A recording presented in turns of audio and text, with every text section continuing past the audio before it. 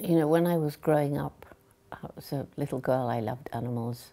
When I was 10, I decided I would grow up and go to Africa and live with animals and write books about them. And everybody laughed at me. How will you possibly do that? You don't have money and you're just a girl. Girls don't do that sort of thing. But I had a wonderful mother who said, if you really want something like this, you'll have to work awfully hard, take advantage of every opportunity, but don't give up. My name's Jane Goodall, uh, sometimes known as Dr. Jane. Uh, in Tanzania, where I spent a lot of my life studying chimpanzees, I'm known as Mama Chimpanzee, Mama Sokwe. From a child, I wanted to go to Africa and write books about wild animals. I was lucky enough to be able to do that thanks to meeting Dr. Louis Leakey, famous paleontologist.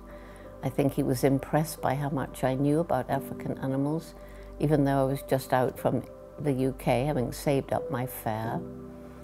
And he gave me this amazing opportunity to learn from not just any animal, but the one most like us. I, I began the chimp work in 1960.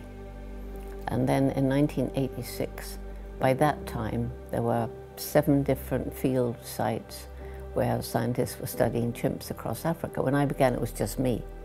So I helped organize a conference in the US to bring these seven scientists from these seven field study sites.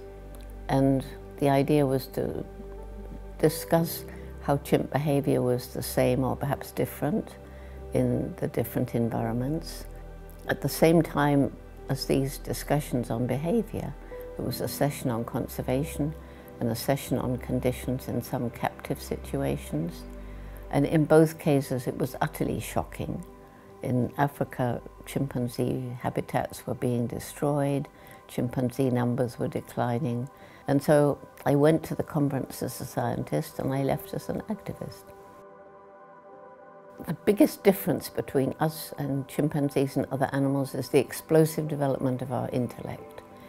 And it doesn't make any sense if you think we're the most intellectual creature on the planet that we're destroying our only home. I truly believe that we have a window of time which is all the time closing.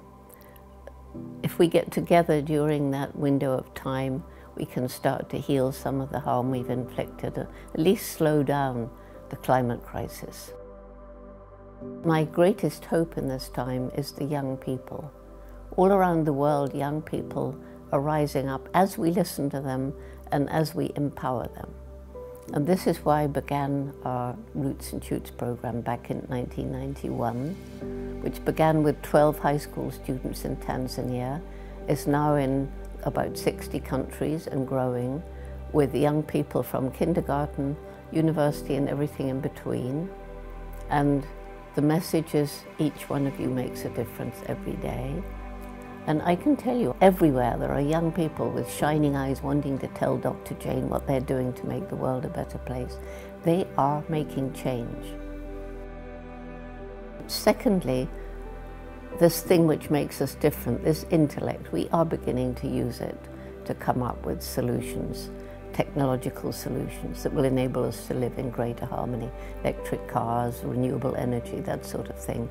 And we're beginning to use our brains to think about our own ecological footprints. And then, thirdly, this resilience of nature. I've met so many amazing people who've worked to restore a place that we totally destroyed and give that place sometimes just time and it will recover. Mother Nature will come back and it may not be just as it was before. And animals on the very brink of extinction have been given another chance.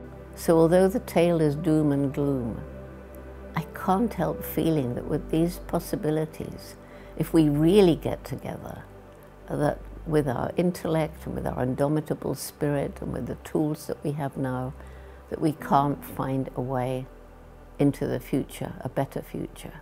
But do we have time? I don't know.